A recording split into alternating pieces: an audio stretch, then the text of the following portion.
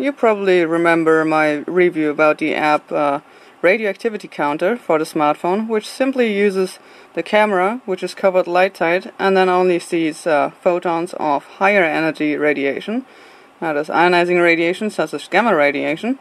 And uh, we came to the con conclusion that this only allows to see if there's, uh, well, strongly elevated levels of background radiation or more or less normal radiation levels, but it's just an estimate and it's not very accurate in telling you the real readings. So today we're actually looking at a different app, and that will be for these little things, Pocket Geiger by radiation-watch.org. I was sent two versions. One is for the iPhone. It's a very tiny little detector, a semiconductor detector, which is just located right behind this window, which simply attaches to the headphone jack of your smartphone. I also have the Android version. For the Android version you currently also need a battery supply, which uses just a 9 volts battery. Um, but the entire pack is about as heavy as the 9 volts battery, so you could imagine you strap these things together once you put the battery in there, and it's still a very small detector, even for the Android version. I currently don't have an iPhone, so um, I'll have to test and compare the iPhone version to the Android version later. For now, I'm just showing you the Android version. So for the Android version, you pretty much just have to download the app, which is called Pocket Geiger. It is currently in development for the Android, so you oddly have to enable GPS, even though uh, you're not currently using GPS for this app, because it's, well, under development as I said.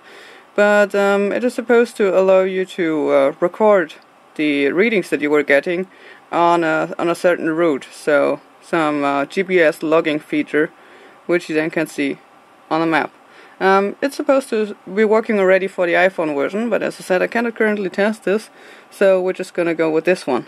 Uh, first of all, you have to enter the settings, and uh, there will be a table of settings for your specific smartphone, which you set here, like the threshold for radiation and noise, and if you need to reverse the input. I was actually getting weird readings, even though I'm not supposed uh, to reverse the input as uh, off the table they had there, but uh, apparently I have a different version of uh, the Samsung Galaxy S3, uh, so I actually needed to uh, touch reverse input in order to get a reading. So if you're getting similar problems, might just as well try and reverse the input on whatever phone you're using if you set the other uh, settings accordingly.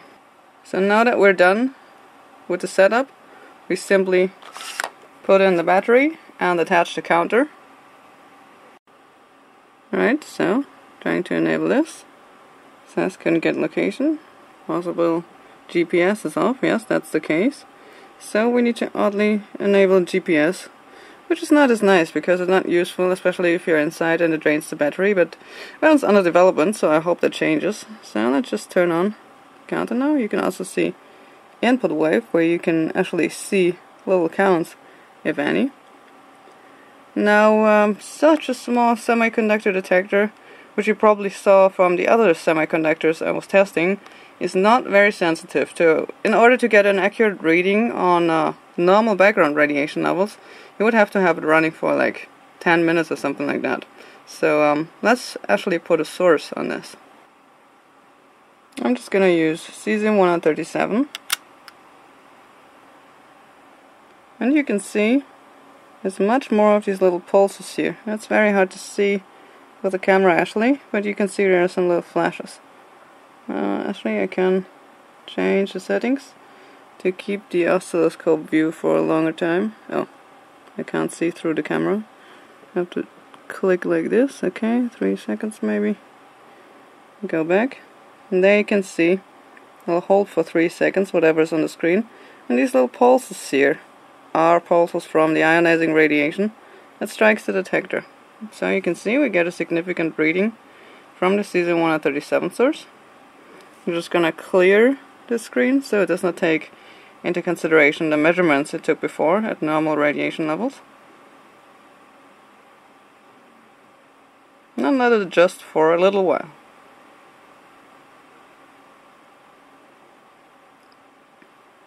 Now to compare the readings I'm gonna use an Automess 86 device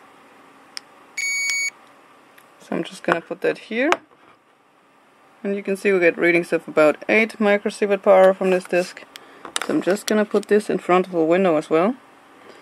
And see what readings we get on this energy compensated gamma only device. You can see after adjusting for a while it settles about at uh, 3 microsievert per hour. But as I said, uh, cesium 137, oh, battery low, never mind. Cesium 137 is a beta and gamma emitter, and uh, the Automess is actually supposed to be shielded so well that it only reads gamma radiation. So um, let's actually try another source. Let's try barium 133, which is a pure gamma emitter. Gonna place it on here, remove the cesium, and clear again. Alright, it seems to settle at about 18 microsievert per hour.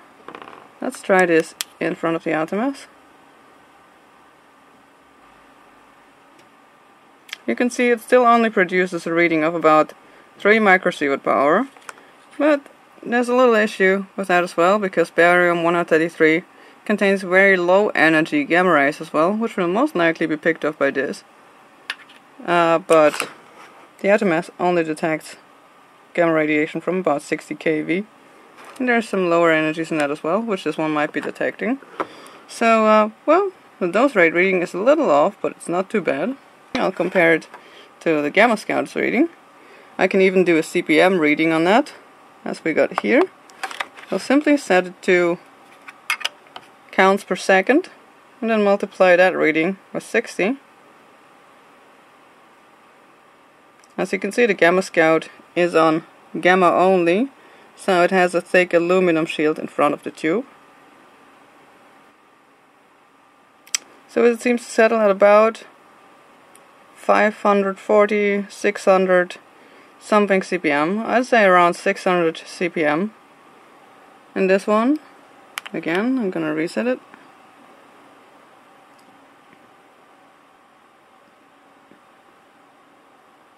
Seems to settle at about 300 CPM, so the sensitivity of that is not too bad, I'd say. Now, compare it again to cesium 137 reading. Gonna reset this as well. And get a reading from cesium 137 on the Gamma Scout.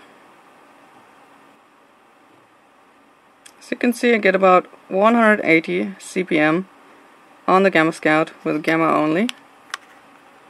Now to reset this.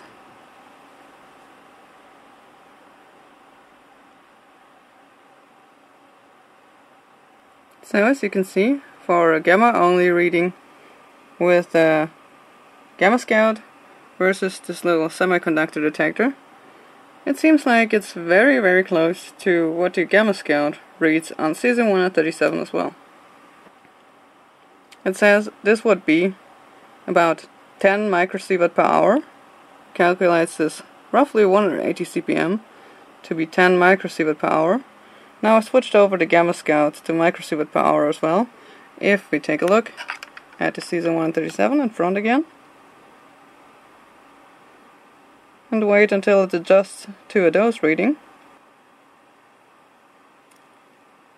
you will see that very similar CPM, so about 180 CPM on the Pocket Geiger as well as 180 CPM approximately for the Gamma Scout will lead to a reading of 1.5 microsievert per hour approximately on the Gamma Scout and about 10 microsievert per hour on the Pocket Geiger. So that's a little off. Let's compare again to the Automess which I've got here. Put it right in front of the tube again.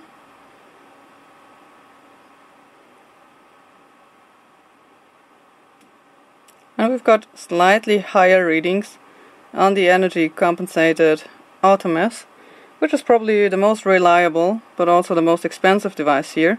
This one costs about 1600 euros. Now this device is very cheap.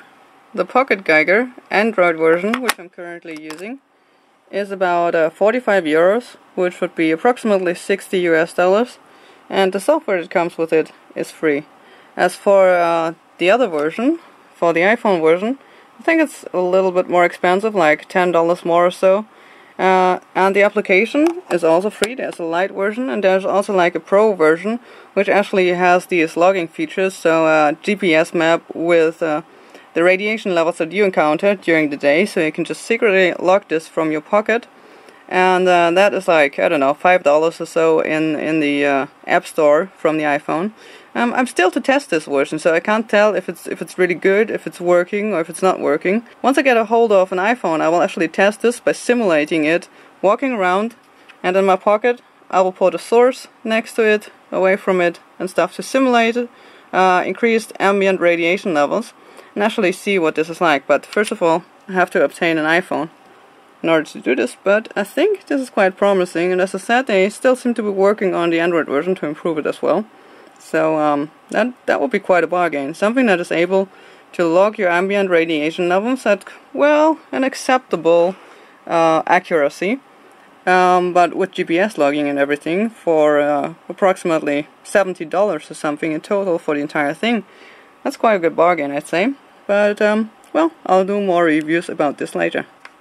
Also, I have X-rayed both devices. This one is the iPhone version, which you can see here and this one is the Android version. Now there's a little difference that you'll be able to tell immediately. The iPhone version seems to contain a very thick metal sheet here, probably a thin sheet of, of lead even, while the Android version doesn't. It just contains a very tiny sheet, which is radiolucent on 85 kV, well this one, for the iPhone version, is not. I had to use 125 kV of uh, X-ray radiation in order to get through. You can just see the semiconductor detector beneath it here.